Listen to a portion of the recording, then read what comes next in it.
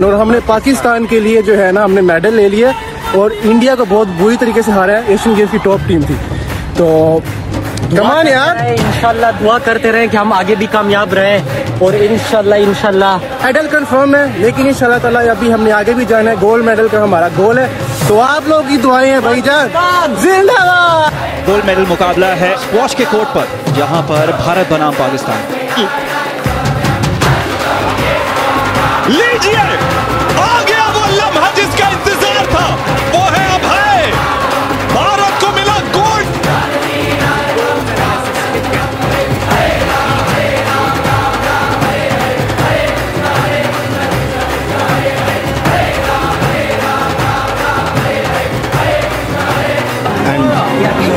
against Pakistan, that's a special thing. Not really. We the better team.